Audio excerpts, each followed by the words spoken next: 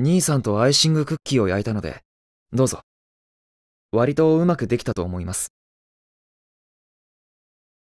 これ、お返し。マシュマロのふわふわした感じが、マネージャーっぽいだろ？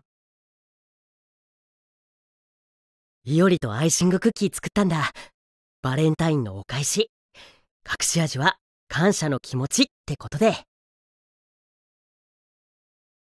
一緒にケーキ食いに行こうぜ。バレンタインのお礼に好きなものごちそうします僕もケーキを作ってみたんだけど、君の好みに合うかな？桜の練り切りを選ばせていただきました。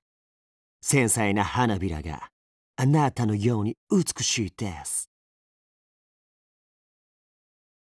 マネージャー、これ、ホワイトデーのマカロン。色とか結構こだわって選んだんだ。バレンタインのチョコ、ありがとな。これ気持ち程度だけど、お返し。受け取ってくれ。僕が好きなお店のドーナツ、よかったら食べて。君もきっと気に入るから。バレンタインのお返しにクッキーを焼いてみたんだけど、受け取ってほしいな。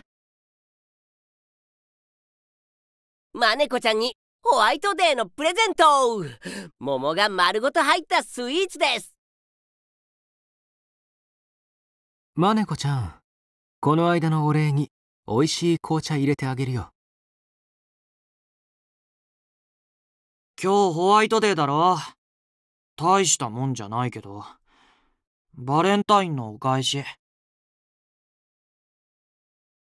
この間はチョコありがとな。